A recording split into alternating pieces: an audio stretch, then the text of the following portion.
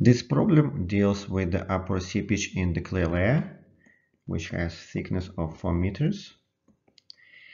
And uh, on top of the clay layer there is a lake. It has 1.5 meters of water in it.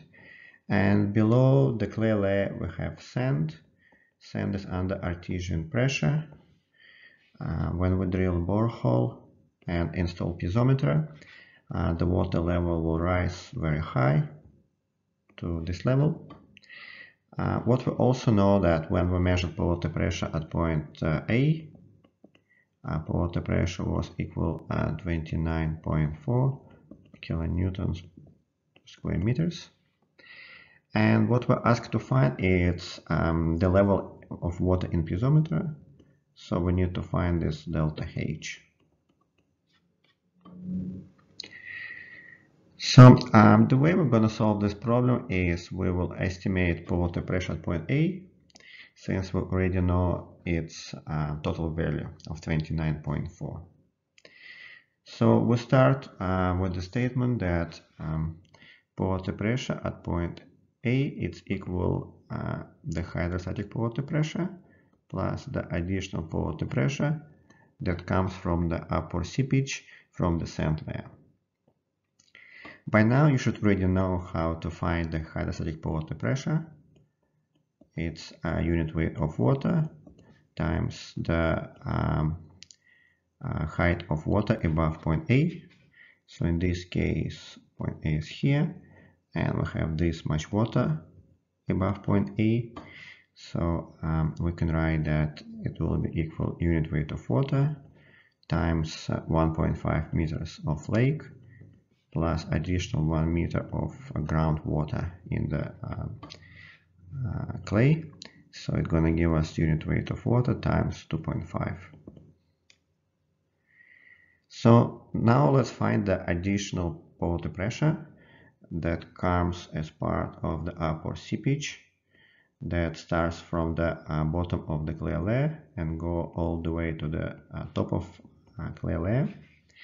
Remember that uh, the water seepage can only occur in soil. There is no seepage in the lake. So uh, now we're going to find um, uh, hydraulic gradient. So hydraulic gradient for the clay layer, we, uh, we can measure uh, difference in water levels between these two points and water flows from the top to the bottom of the clay layer so in this case, uh, L is going to be 4 meters. And the difference between uh, this point 1, which is here, and point 2, which is here, will be delta H. So hydraulic gradient is delta H uh, divided by 4. So this is the delta H that we need to find. Uh, remember that uh, the easiest way to find this delta H is you take the uh, difference between two water levels. So this is first water level and this is the second water level. Okay, so now let's look at point A and let's see what we can write for point A in terms of uh, delta H and hydraulic gradient. So what I'm going to do, I'm going to rewrite this equation as uh, delta H is equal uh, hydraulic gradient times L. And then I'm going to adjust it for point A. So I'm going to write as uh, delta H at point A.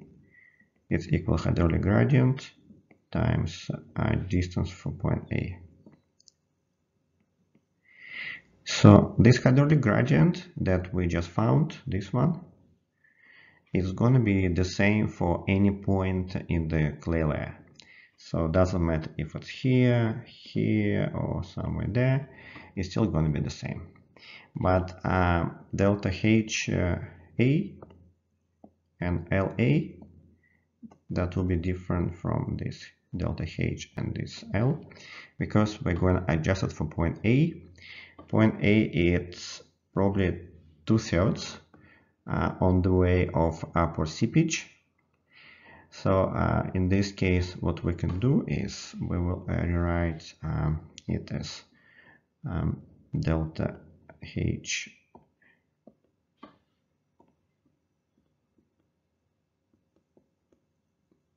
delta HA is equal hydraulic gradient times uh, LA it will be equal hydraulic gradient is uh, delta H divided by 4 and LA is going to be uh, this 1 meter which is left. So now if we would like to uh, change it to additional water pressure, it will be uh, delta HA times unit weight of water. Remember that water pressure is um, water head multiplied by the unit weight of water.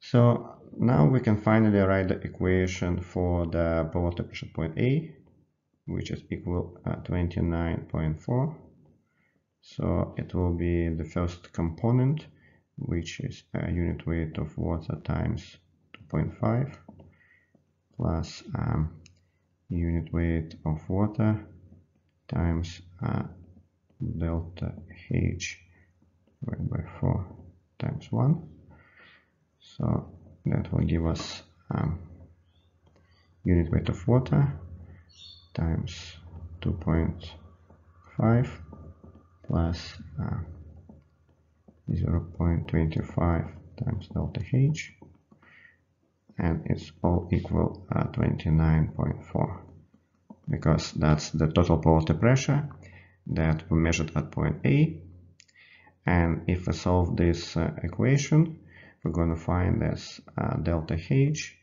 it's uh, approximately 1.98 meters. So this means that this delta H, the difference between uh, two water levels, it's 1.98 meters.